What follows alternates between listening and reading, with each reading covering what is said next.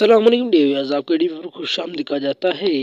Azlan बहुत ज़्यादा परेशान होता है और वो सानिया से बात करता है कि मुझे अब शादी करनी है तो सिर्फ़ और सिर्फ़ बिना से करनी है जिस पर सानिया कहती है कि जैसा तुम मर्ज़ी मर्ज़ी करो, तुम कर सकते हो और मैं तुम्हें इजाज़त देती हूँ कि तुम सानिया से शादी करो जो तुम बिना से शादी करो, जिस पर अजलान बहुत ज़्यादा खुश होता है और बिना के पास चला जाता है। लेकिन सानिया के भी याद देने की सबसे बड़ी वजह यह थी कि सानिया को पता है कि कभी भी बिना इससे शादी नहीं करेगी, इसलिए वो याद दे देती है कि कभी भी बिना इससे शादी नहीं करेगी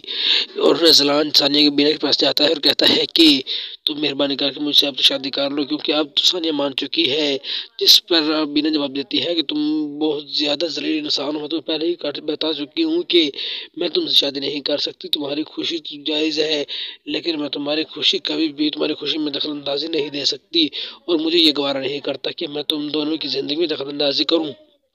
जिस पर सलाम जवाब देता है कि जैसा तुम बेहतर समझो वैसा ही कर सकता है, लेकिन मैं तुमसे शादी करूँगा। मैं आखिरी ही फैसला है। Like and subscribe my YouTube channel A D V